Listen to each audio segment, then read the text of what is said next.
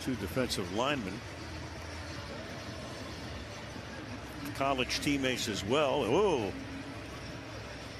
well,